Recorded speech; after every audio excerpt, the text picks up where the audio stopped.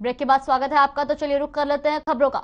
रोहतक में एक ए के अंतर्गत परीक्षा उत्तीर्ण करने के बावजूद विद्यार्थियों का दाखिला नहीं हो पाया है, जिसको कभी टाला जा रहा है तो कभी तरह तरह के आंकड़े लगाए जा रहे हैं। वहीं अब दाखिले के अंतिम दिन में भी 200 से अधिक बच्चों के एडमिशन को दस्तावेजों की कमी बताकर अटका दिया। इस पर शिक्षा विभाग ने मनमानी करने वाले 180 स्कूलों को नोटिस भेजा है और दाखिला नहीं देने का कारण बताने का जवाब मांगा है।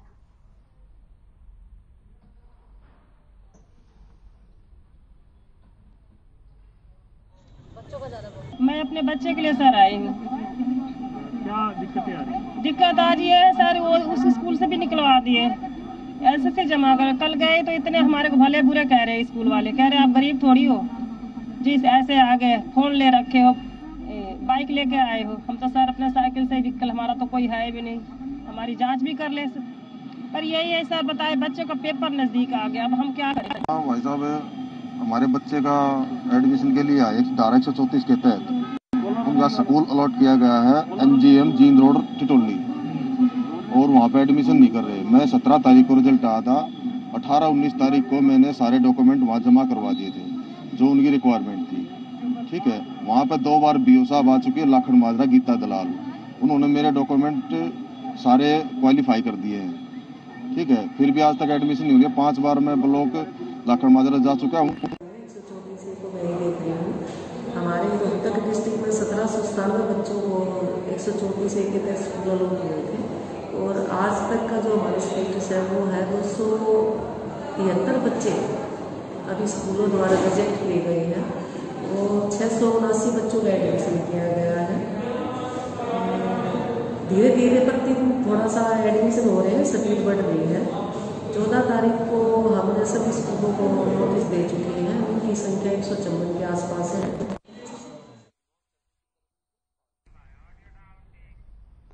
वहीं कैथल में सरकारी एजेंसी हैफेड को बरसाती धान के निर्यात के लिए 5000 एमटी का ऑर्डर मिला है। एजेंसी की ओर से पहली बार सीज़न में बासमती धान की खरीद शुरू की गई, जिससे आने वाले समय में किसानों को भी लाभ मिल सकता है। उत्तर भारत में पैदा हुई बासमती धान की विदेशों में खूब डिमांड है। इस वजह से हर साल हरियाणा, पंजाब और कुछ हिस्सा उत्तर प्रदेश से बासमती धान का निर्यात होता है।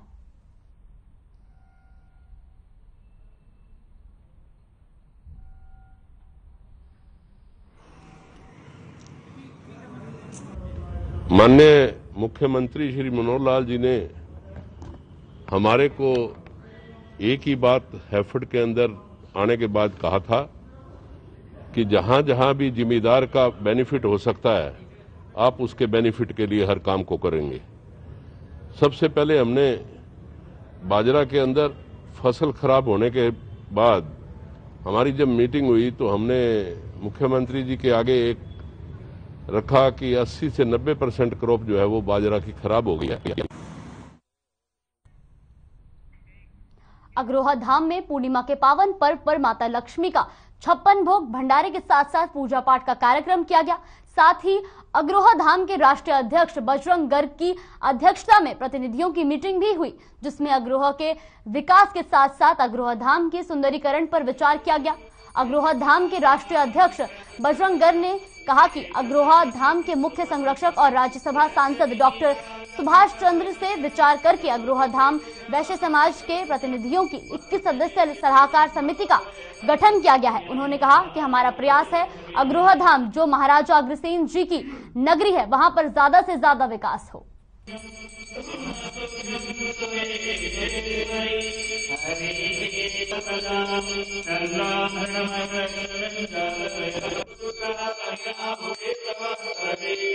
अग्रवा धाम में आज पूर्णिमा पर छप्पन भोग भंडारा या पूजा पाठ का कार्यक्रम भव्य रूप से बनाया गया, जिसमें भारी संख्या के अंदर भक्तजनों ने परिवार सहित भाग लिया और अग्रवा धाम के अंदर आज जो वैश्य समाज की मीटिंग भी हुई, उसमें अग्रवा के विकास के लिए अग्रवा धाम के सुंदरीकरण के ऊपर गंभीरता से विचार किया गया।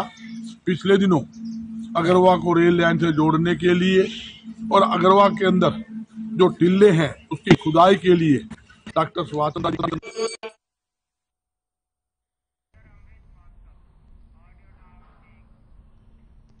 आज़ादी के अमृत महोत्सव श्रृंखला में बीते शनिवार को झज्जर के टाउन हॉल पर तिरंगा फहराने की शताब्दी वर्षगांठ के उपलक्ष्य में विशेष कार्यक्रम का आयोजन हुआ। स्वतंत्रता संग्राम के दौरान 1922 में टाउन हॉल पर तिरंगा फहराने वाले स्वतंत्रता सेनानी के परिजनों को शताब्दी वर्षगांठ कार्यक्रम में आमंत्रित किया गया। डीसी और एसपी वसीम अकरम ने स्वतंत्रता सेनानियों के परिजनों से ही शताब्दी वर्षगांठ के अवसर पर टाउन हॉल पर राष्ट्रीय ध्वजारोहण कराया। मैं आप सबको ये बताना चाहूँगा कि सवा सौ प्रयास है कि इसमें जो घड़ियाँ थी उनको भी दोबारा से लगाया जाए। जो पुराना जो फील था शहर का वो दोबारा हम दें। उसमें लोगों से मेरी अपील है कि इसमें आप सहयोग करें इसको नशे का अड्डा ना बनाएँ। पहले जो रहा जो पुराने टाइम में उससे बाहर आए और आमजन इसमें सहयोग करें।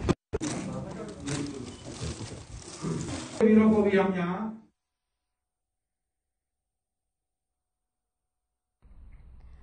यमुनानगर में एंटी नार्कोटेल की टीम नशा तस्करों पर टीम गठित कर लगातार कार्रवाई कर रही है। इसी के तहत टीम ने ताजावाला नाका से चेकिंग के दौरान उत्तर प्रदेश से आ रहे दो युवकों को गिरफ़्तार किया। बताते चलें कि भारी मात्रा में प्रतिबंधित दवाइयों के साथ दो युवकों को काबू किया है। आरोपियों से भारी मात्रा में प्रतिबंधित दवाइयाँ बरामद हुई हैं, जिसके बाद आरोपियों के खिलाफ केस दर्ज कर कोर्ट में पेश किया गया है।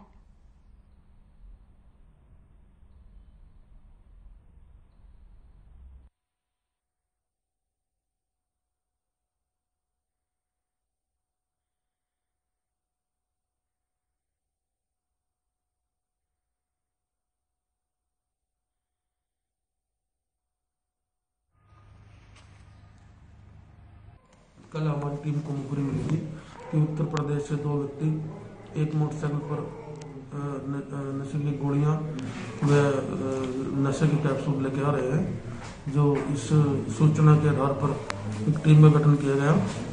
और टीम द्वारा को मौके पर बुला करके इनको काबू किया जो एक के कब्जे से 520 अल्पेक्स और दूसरा के कब्जे से चार सौ कैप्सूल नशीले बरामद हुए हैं। जिनके खिलाफ अभियोग दर्ज किया गया है।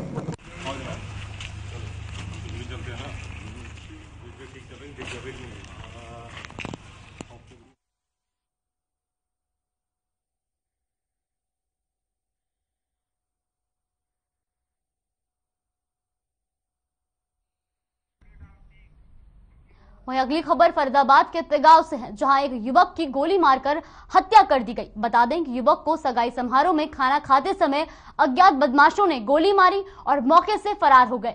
मृत युवक का कपिल नाम बताया गया है, जिसकी उम्र 25 साल है। हालाँकि पुलिस फरार बदमाश की तलाश में जुटी हुई है।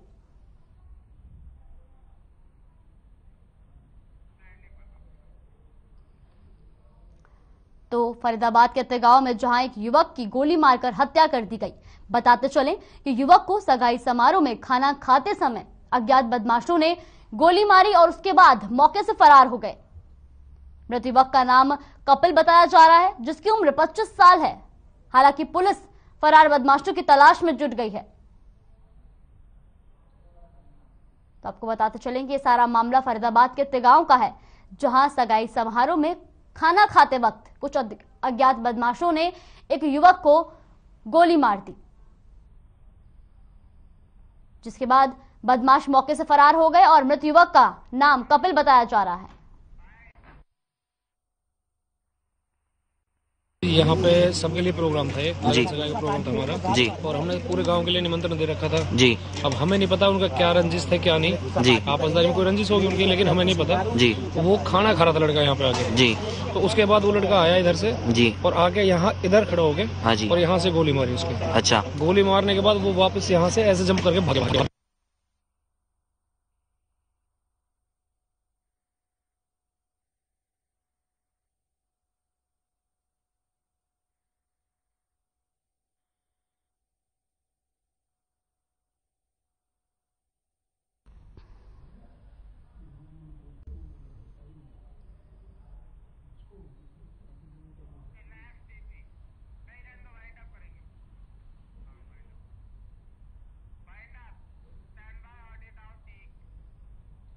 फ़िलहाल के इस बुलेटिन में बस इतना ही। खबरों में बने रहने के लिए देखते रहिए हर खबर।